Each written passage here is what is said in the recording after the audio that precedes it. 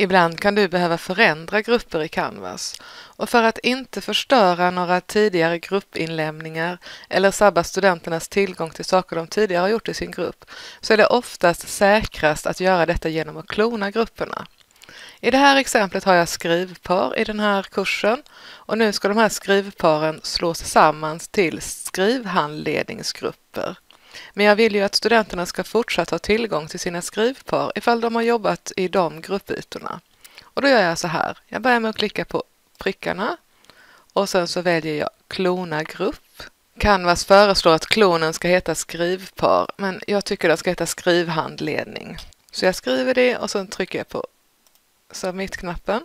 Då har jag fått en ny flik som heter skrivhandledning. Och jag tar och hoppar över till min skrivhandledningsflik. Här har jag nu exakt samma grupper som jag hade tidigare, men de har inte koppling till de gamla gruppytorna. Så nu kan jag helt enkelt göra så att jag tar skrivpar 3 som ska slås ihop med skrivpar 1 och så flyttar jag över de studenterna dit. Och sen var det skrivpar 4 som också ska ingå i den handledningsgruppen. Och sen ska vi se vad jag har kvar här. Den är tom. Skrivpar 5 och 6 ska också slås ihop med skrivpar 2. Så jag flyttar de studenterna dit.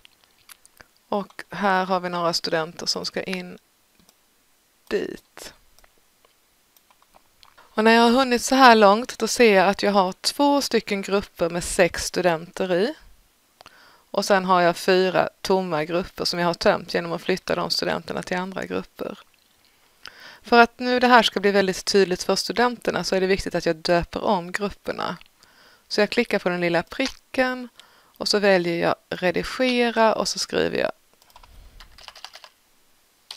skrivhandledning 1 på den första gruppen och sen så tar jag redigera här och kallar den för skrivhandledning 2. Och de här fyra tomma grupperna de gör egentligen ingen skada alls, men för min egen skull så kan jag tycka det är rätt så skönt att radera de grupperna. Så jag bara tar en grupp i taget och tar bort och kollar noga så att jag bara tar bort tomma grupper.